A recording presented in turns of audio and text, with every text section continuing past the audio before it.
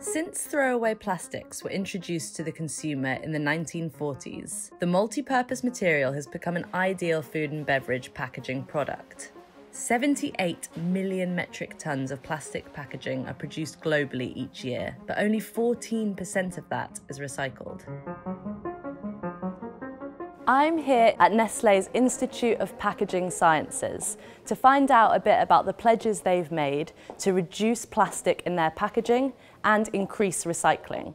In 2018, Nestle produced 1.7 million metric tons of plastic, and the company has been a target of protest action. But by 2025, it's committed to 100% of its products being recyclable or reusable, and to reduce the use of virgin plastics by a third. The labs here in Lausanne are a key part of that commitment. Hi, I'm Veronique. Hi, I'm Anna. Welcome. Veronique Cremades Mathis is Nestle's global head of sustainable packaging, and this year the company pledged 1.68 billion euros to its sustainable packaging program. As part of a three pronged strategy, Nestle is firstly looking at trying to simplify the material itself.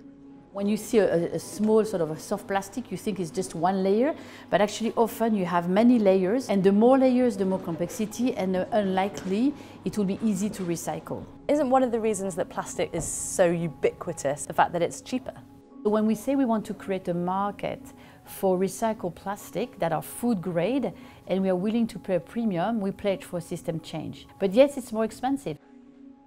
As well as creating material that's easier to recycle, Nestle is also exploring different recycling techniques. But the third part of its strategy presents a significant challenge changing the customer mindset. You can have the right material that is completely designed to be recycled, but if the consumer doesn't dispose in the right waste stream, then the work we've done has no value. There are companies finding ways to engage with the consumer. In London and California, Cup Club, started in 2018 by Safia Qureshi, has introduced washable takeaway cups for businesses.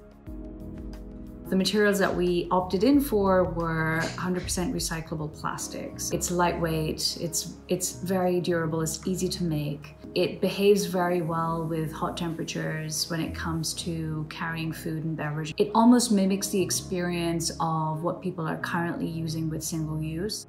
Cup Club offers businesses sustainable drink cups, which it collects at the end of each day, washes, and returns, to be used hundreds of times. The idea is that we we design for multi-use, so that's minimum 250 uses. They can actually go beyond that. When you compare our product to single-use products, we break even at 66. About two, three weeks ago, we completed 400,000 orders, and that has been an aggregate amount of about 11,000 kg of CO2 saved, and just under 7,000 kg of total waste. Meanwhile, Scottish firm Vegware has been named as that country's fastest growing export company, selling sustainable, recyclable, compostable products for food and drink. The materials we use are plant based, so everything we have is suitable for industrial composting in under 12 weeks. In practice, it's actually often quicker the company now has distributors in 70 countries around the world. Its packaging is more expensive than expanded polystyrene, but turnover has grown rapidly from £20 million two years ago. In terms of turnover, we have doubled in size, or more than doubled, in the last two years. But a key impediment to growth that Vegware and many of these product based companies face is ensuring there are appropriate waste facilities available to compost and recycle their materials. It's always chicken and egg you have to have a significant volume of a material around in order for waste processors to be interested in actually dealing with it. So that's where we are now with plant-based compostable materials that we're dealing with. There's no reason why it can't happen. All it takes is investment, uh, willingness, favourable policies and of course a bit of time. The Ellen MacArthur Foundation has estimated that there would be more plastic than fish in the oceans by 2050 if companies continued as normal. These three firms are all investing in innovation to combat the problem.